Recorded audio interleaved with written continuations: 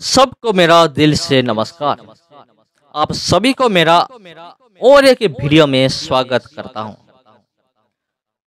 हम प्रभु यीशु मसीह का पुनरुत्थान का दो प्रकार के सबूत देखेंगे। आज की वीडियो में हम बातचीत करेंगे।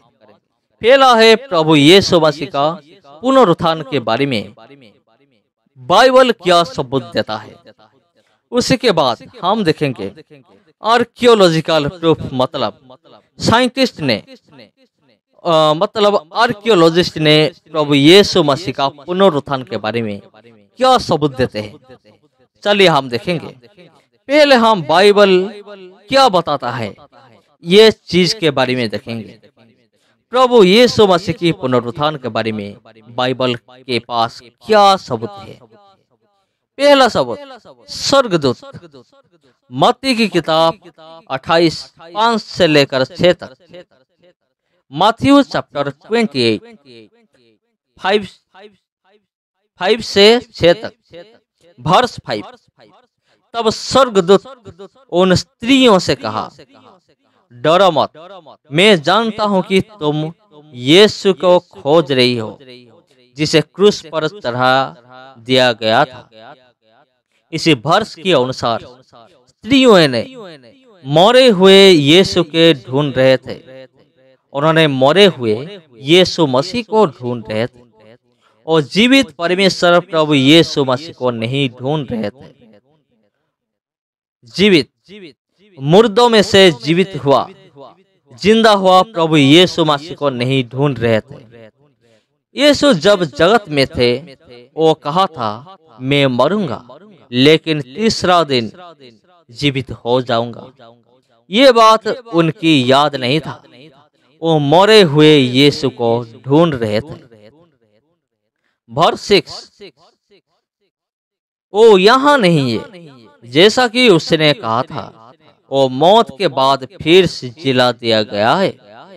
आओ उस स्थान को देखो। जहाँ वो लेटा था।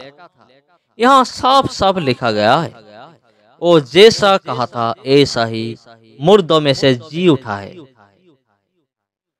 और दूसरा सबूत, मेरी मगदलिन युहाना 20 का 19 से लेकर 29 तक, अगर ये सब मेमोरी भर्स पाठ किया जाए तो ये पता चलता है प्रभु यीशु मसीह मुर्दों में से फिर से जी उठा है यहाँ मेरी मगदलनी खुद कहती है कि मैंने यीशु मसीह को देखा है और वो मुझसे ये सब करने के लिए कहा है।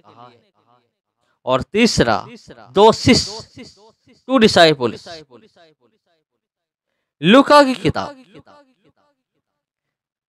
चौबीस का पंद्रह। यहाँ इमायुस की सड़क पर दो शिष्य को यीशु मसीह ने दर्शन दिया है। जब उन दो शिष्यों ने बातचीत करते थे तो उसी टाइम प्रभु यीशु मसीह ने उनके साथ रास्ते पे चल रहा था। वो उन दोनों के साथ ठहरा, रोटी भी तोड़ा। ये सब कब हुआ?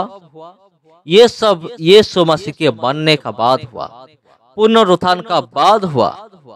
तो ये हमें ये बताता है कि प्रभु यीशु मसीह मुर्दों में से जी उठा। नंबर चार, बंद किया गया घर का दरवाज़ा और खिड़की। बंद किया गया घर के अंदर यीशु का दर्शन। युहाना चैप्टर 20 19 से लेकर 29 तक। इस वर्ष के अनुसार, एक दिन यहूदियों की डर से सारे शिष्यों एक कमरे के अंदर थे। उस कमरे को, कमरे का खिड़की की दरवाज़ा सब कुछ बंद था। उसी टाइम प्रभु यीशु मसीह आकर बीच में खड़ा हो गया। ये कैसे हुआ? ये इसीलिए हो पाया। यीशु मसीह मुर्दों में से जी उठा था। प्रभु यीशु मसीह बंद किया गया, कमरे के अंदर प्रवेश किया। जो शरीर लेकर यीशु जी उठा था, उसी शरीर यीशु हम सबको देंगे अंत के समय में। इसलिए सावधान रहिए। नंबर पाँच, तिबिरियस के समंदर के किनारे यीशु मसीह ने शिष्यों को दर्शन दिया। यूहाना 21 का एक। यहाँ लिखा गया है तिबिरियस के समुद्र के किनारे। में यीशु यीशु ने फिर अपने आप को प्रकट किया और शिष्यों को दर्शन दिया। ये भी तब हुआ था जब यीशु ने मुर्दों में से जी उठा था। ये था बाइबल में से सबूत। और बहुत सारे लोग कहेंगे कि बाइबल में जो लिखा गया, वो तो स्वाभाविक है। लेकिन इसका साइंटिफिक सबूत क्या है? साइंटिफिक सबूत क्या है? आर्कियोलॉजिकल सबूत क्या है? तो ठीक है, हम अब साइंटिफिक सबूत देखेंगे।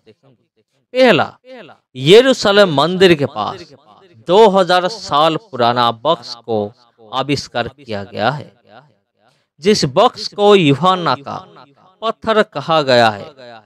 अर्थात ये बक्स। पत्थर से बना गया था। उसी बक्स के ऊपर ये लिखा गया है, ये सो मुर्दों में से जी उठा है।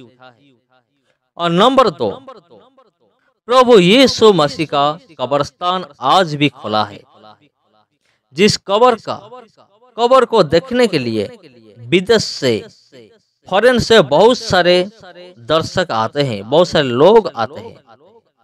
ये खोले हुए कबर हमें ये शब्द देता है कि ये मसीह मुर्द में से जी उठा है वो यहाँ नहीं है। सबको मेरा दिल से नमस्कार। फिर मिलेंगे आप सबके साथ। और एक वीडियो में, और एक और एक टॉपिक में।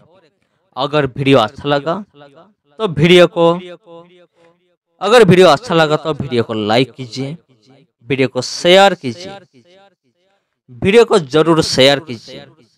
क्योंकि बहुत सारे ऐसे लोग भी हैं, जिन लोगों को ये सब चीज़ नहीं पता है।